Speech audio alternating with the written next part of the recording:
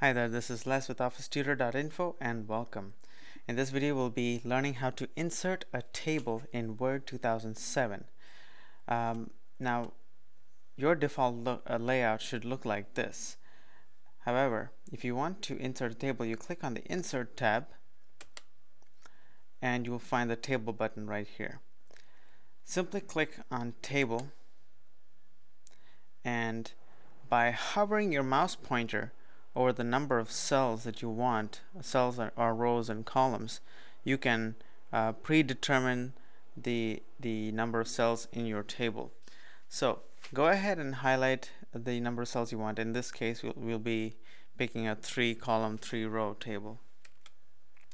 And you'll find immediately that Word 2007 stretches the table across the um, big, the margins of the page by default now again if you want to learn how to change the page margins uh, please visit officetutor.info and just do a search.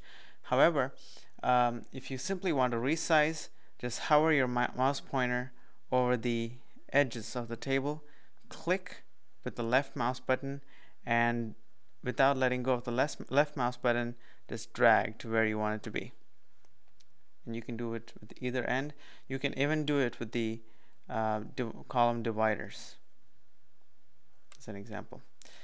And I'll undo the two changes we just made. Alright now let's say you want to apply uh, an existing table design to your table rather than you design something yourself. Uh, you can always um, just select the table and just hover over these options that open up um, soon after the table is inserted.